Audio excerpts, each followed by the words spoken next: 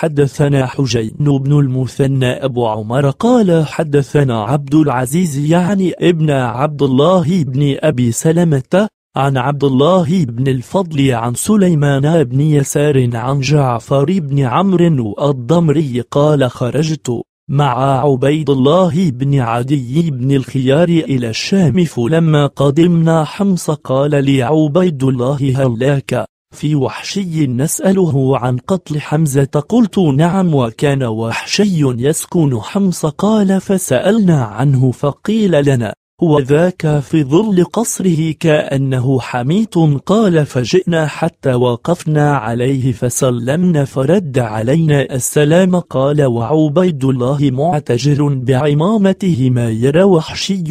إلا عينيه ورجليه فقال عبيد الله يا وحشي أتعرفني قال فنظر إليه ثم قال لا والله إلا أني أعلم أن عدي بن الخيار تزوج امرأة يقال يقال لها أم قتال ابنة أبي العيس فولدت له غلاما بمكة فاسترضعه فحملت ذلك الغلام. مع أمه فناوتها إياه فلكأني نظرت إلى قدميك قال فكشف عبيد الله وجهه ثم قال ألا تخبرنا بقتل حمزة؟ قال نعم إن حمزة قتل طعيمة بن عدي ببدر فقال لي مولاي جبير بن مطعمين إن قتلت حمزة بعمي فأنت حر فلما خرج الناس يوم عينين قال وعينين جبيل تحت أحد وبينه واد خرجت مع الناس إلى القتال فلما أن اصطفوا للقتال قال خرج سباع من مبارز قال فخرج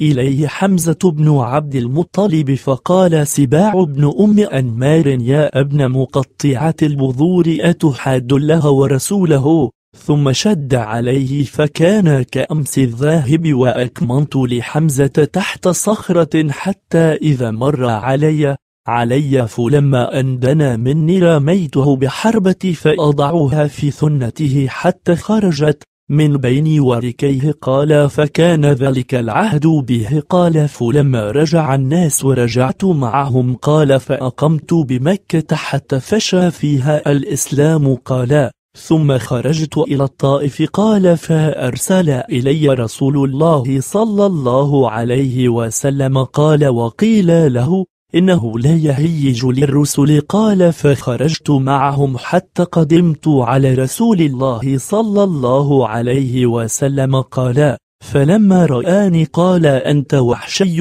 قال قلت نعم قال أنت قتلت حمزة قال قلت قد كان من الأمر ما بلغك يا رسول الله إذ قال ما تستطيع أن تغيب عني وجهك قال فرجعت. فلما توفي رسول الله صلى الله عليه وسلم وخرج مسيلمة الكذاب قال قلت لا أخرجن إلى مسيلمة لعلي أقتله فأكافئ به حمزة قال فخرجت. فخرجت مع الناس فكان من أمرهم مكان قال فإذا رجل قائم في ثلمة جدار كأنه جمل أورق ثائر رأسه. قال فأرميه بحربتي فأضعها بين ثدييه حتى خرجت من بين كتفيه. قال ووثب إليه رجل من الأنصار. قال فضربه بالسيف على هامته. قال عبد الله بن الفضل فأخبرني سليمان بن يسار أنه سمع عبد الله بن عمر فقالت جارية على ظهر بيت وأمير المؤمنين قتله العبد الأسود.